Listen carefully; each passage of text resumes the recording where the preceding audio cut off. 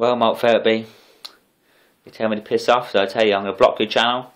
And I don't want nothing to do it, but the fact is, I tell you what, you must be the thickest cunt on YouTube to give anyone your password. What? I tell you what, you must be the thickest twat I ever known on YouTube drink community. On, on fucking the whole entire YouTube, to sit there on a live show and give you and give them your password. Oh, get the fuck out of here.